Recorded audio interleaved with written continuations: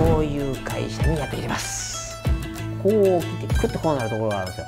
鉛が生命を宿すというかね。これからまだ楽しみが続きますからね。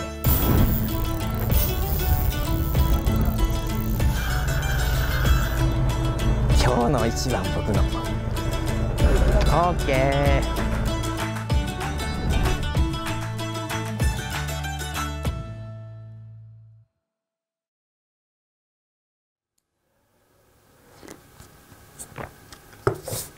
じゃあ始めましょうか。ね。熱っ。えー、今たった今業者さんが持ってきた。あ重た重たい。あどうだこれ。新しく生まれ変わった猫メタル。あのー、生まれ変わったというのはよく釣れるようになったじゃない。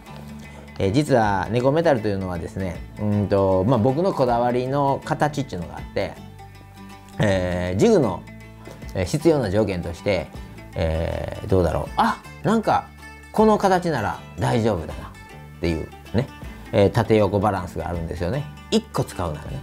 でえーと、ジグの使い方に僕そんなジグのねあのエキスパートでも何でもないんですよ。でもジグってフォールで釣れるんですよ。メタルジグってね。フォールで釣れる。ってことはフォールで釣れるようなジグを僕が作り手として作ってしまえばフォールで来るでしょ？あとはテクニックでするでしょ？これが1対1とするでしょ？そしたらフォールの確率この1半分を僕の、えー、作り手としてのこだわりで作ってしまえば誰でも釣れるジグができるんじゃないかから始まったのがこの猫メタルなんですよね。で、えー、まあ、フォールの姿勢それからしゃくった後止めた時からのフォールの姿勢が良ければ釣れるということででそういう形にしてあります。で結果すごく普通な形になるんですよねやっぱり。バランスの取れた普通な形。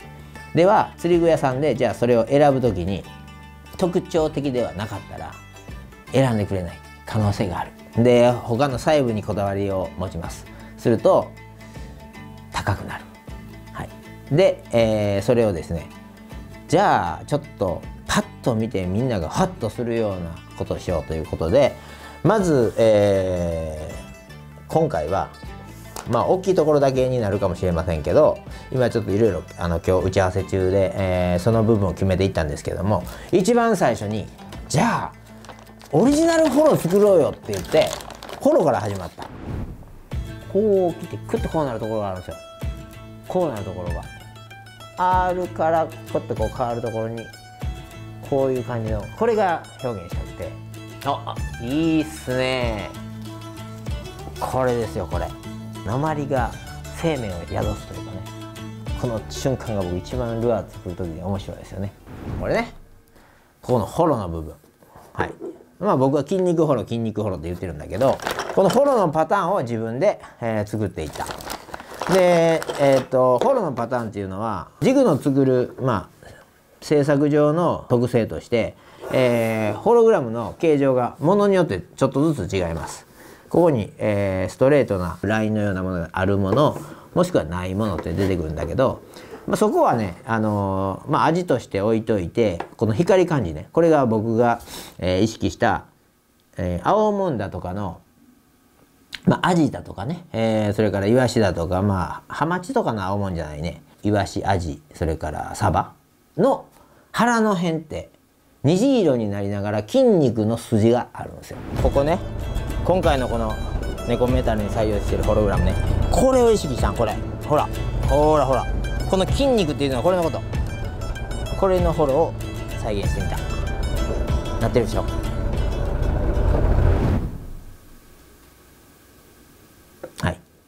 まあ、えー、今回ね 40g50g60g という重たい番手のものをまず作って、えー、今流行りの、えー、スーパーライトスーパーライトジギングにちょっと対応しようかなというところで何か面白いことしようということでそれの第一弾がこのホログラムを、えー、金箔屋さん村田金箔にお願いして作ってもらいました。なのでこれよく見ると一星という模様が散りばめてあります。一星金星ね。そんな感じ。まあ今日はこれ喋ることいっぱいあるんで、ね、一番、まあ、気づくところ一番手前のところから喋っちゃったんだけどで模様がねいっぺんつけてみた。手書きからの、えー、模様ね。よしよしよしよし。丸書いて丸書いて眉毛書いて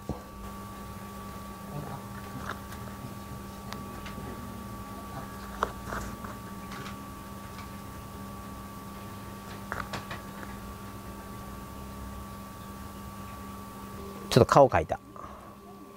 でこれも手書きで適当やねんけど、えー、印刷されてきちっとなる予定です。ああいいな。ええな。これマジックやからね全部。とりあえず試作はこれでいけるかなと。でこっちも顔描こうと思ってんけどこっちな、うん、やがらになるやろ。のーんってこうやがらになるやろ。だからやめたんや。でも裏はだからあのフラッシングだけ？これでいいかなと。はい。ご期待ください。手書きからの、えー、模様ね。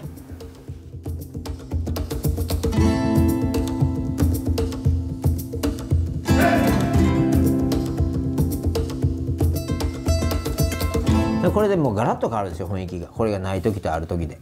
ね。全然雰囲気違うでしょ？これね。まあこれ裏なんだけど。で一応ね、えー、今回はここにまあいわゆるバイトマーカーと呼ばれるまあドットをつけてます。それが以前のまあ一世の愛の、えー、デザインが施された名をここにここにつけてるんだけどこれってこの裏側と一緒なんですね。裏裏側の場所にあるんですけどもともとこの猫メタルっていうのはこうやってこっちが引っ張る方としたらトップヘビーセッティング。こっちこれ見たら分かりますけど上が重たくて上が重たくてねこれここね下が軽くなってます。軽くというか細くなってます。でこれをこっちから引っ張ってもこっちから引っ張っても釣れるように設定したのね。で当然トップヘビーの場合はしゃくります。落ちる時にこうなろうとしますよね。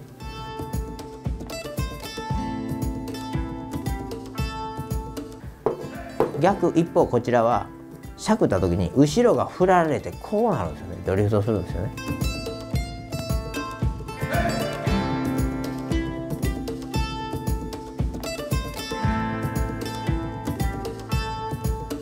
トップヘビーセッティングはこう。ボトムヘビーセッティングはこう。で落ちる時はこうからのこう落ちていくかこうあこうからの戻ろうとするか、はい、これがあのこの猫メタルの基本なアクション。どちらもやってみる。やってみて反応がいい方。だから自分の手が人によって違うじゃないですか。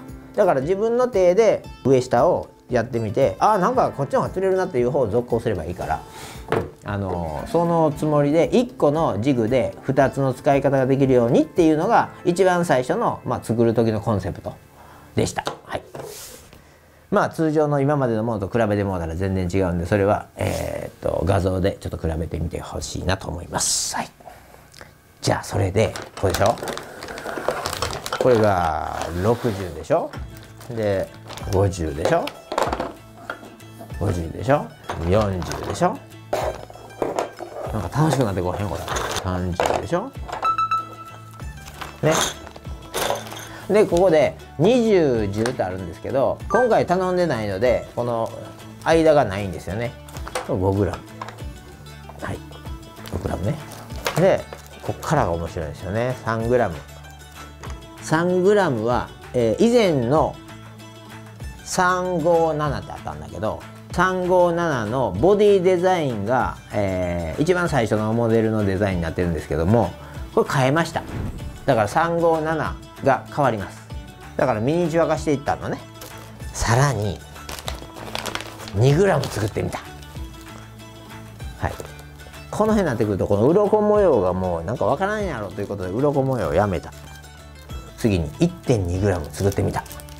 で 1.2g になってくるとそのこだわる点が僕からするとうわかわいい。これめっちゃ精密っていうイメージにしたかったのでそこをこだわった。だから超ミニチュアみたいな。どう？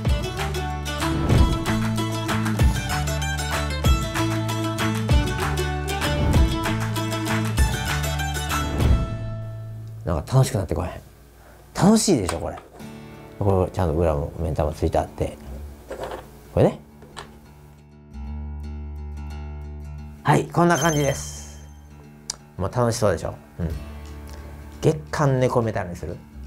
鶏肉、うん、毎月猫メタルで何かする、うん、今やったらどうやろう？琵琶湖のウグイかな。